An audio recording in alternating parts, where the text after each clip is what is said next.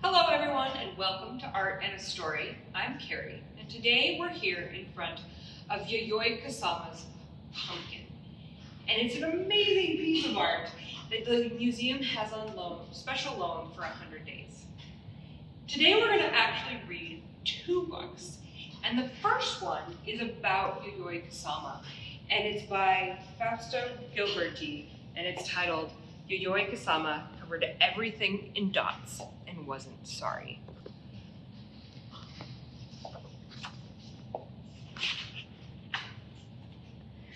My name is Yayoi, and I am an artist, and I'd like to tell you my story. I was born in Matsumoto in a historic city in Japan with a beautiful castle.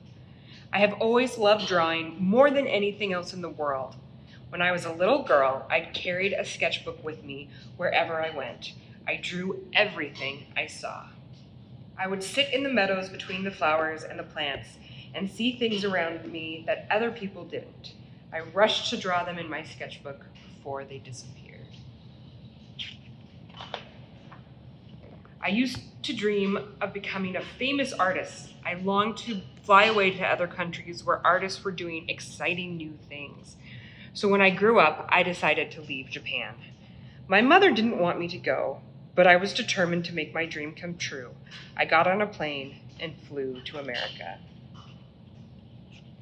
I lived on my own in an apartment where I painted day and night.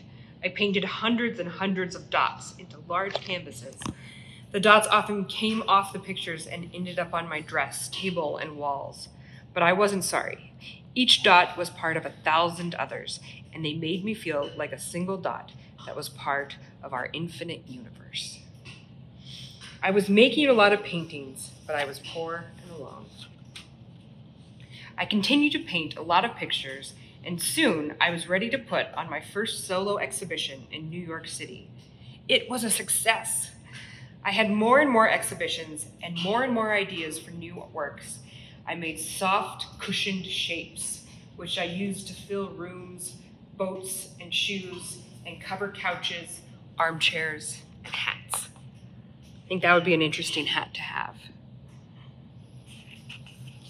I covered bags and dresses with dried pasta. I filled rooms with glittering balls and lights. I created mirrored rooms which reflected everything over and over again. I loved creating all of this experimental art, but there came a time when I had to stop because I became unwell. I left New York and went back to Japan to get better. Back at home, I saw the beautiful mountains and the cherry trees in bloom, but a lot of things had changed since I left. The meadows and streams that used to inspire me to draw had been built over, and the cities were filled with smog. This made me sad.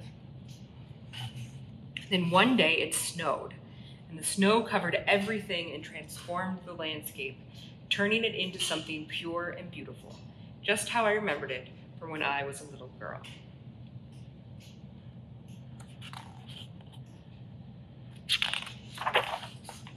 I found a studio near the hospital I was staying in and started working. Creating art made me feel better. I also began writing, and I would paint during the day and write at night.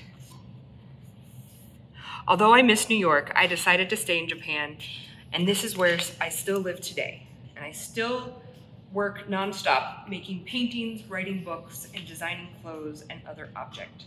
And the other thing I love to make is pumpkins. I've always loved pumpkins with their beautiful shape and sweetness, and I want to show all the love I feel for them through my art. I also like to cover them in, you guessed it, dots. You won't believe it, but when I picked a pumpkin when I was a child, it talked to me. And look, there's that one, and it's talking, and it says, you did it. My artworks have become really famous, and you can now see them in many different art galleries and museums around the world. My dream has come true. And those are really similar to the pumpkin that we have behind us. And it's just one of many pumpkins that Yayoi has made throughout her career. The second book I want to share with you today is called The Dot by Peter H. Reynolds. And I picked this book because I love all the dots that are on this pumpkin. And there's so many things that you can do just with a single dot. So let's take a look.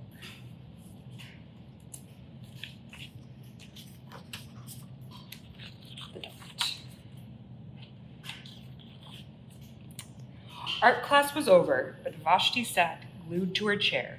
Her paper was empty.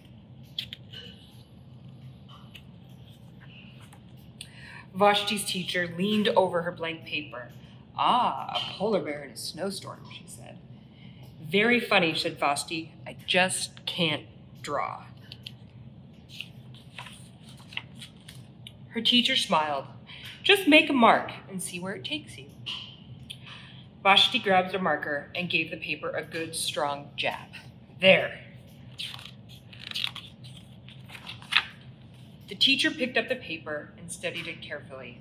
Hmm. She pushed the paper towards Vashti and quietly said, Now sign it. Vashti thought for a moment. Well, maybe I can't draw, but I can sign my name. The next week, when Vashti walked into art class, she was surprised to see what was hanging above her teacher's desk. It was the little dot she had drawn. Her dot, all framed in swirly gold.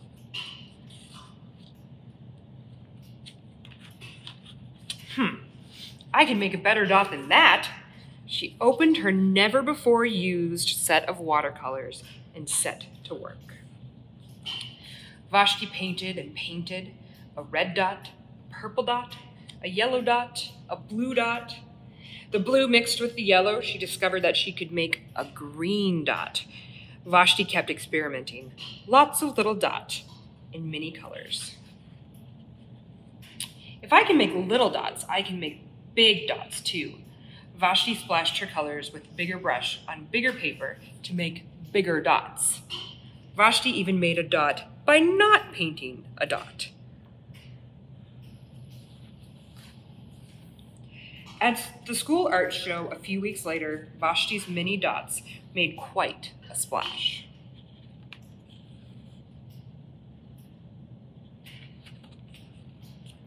Vashti noticed a little boy gazing up at her. You're a really great artist. I wish I could draw, he said. I bet you can, said Vashti. Me? No, not me. I can't draw a straight line with a ruler. Vashti smiled. She handed the boy a blank sheet of paper. Show me. The boy's pencil shook as he drew the line. Vashti stared at the boy's squiggle, and then she said, Please sign it. And if we walk over here, we can see where Yayoi signed her art, right behind me, way on the bottom.